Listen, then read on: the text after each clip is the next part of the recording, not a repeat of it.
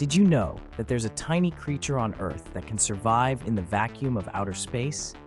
Meet the tardigrade, also called the water bear. These microscopic animals have been found everywhere from the highest mountains to the deepest oceans. But what really sets them apart is their insane survival trick, cryptobiosis. When faced with deadly conditions like extreme heat, freezing cold, or even radiation, tardigrades dry out and curl into a tiny ball. In this state, they shut down almost all their biological processes. It's like pressing pause on life itself. Scientists have blasted them with radiation, boiled them, frozen them, and even sent them into space, and they still bounce back. In 2007, tardigrades became the first animals to survive open exposure to space.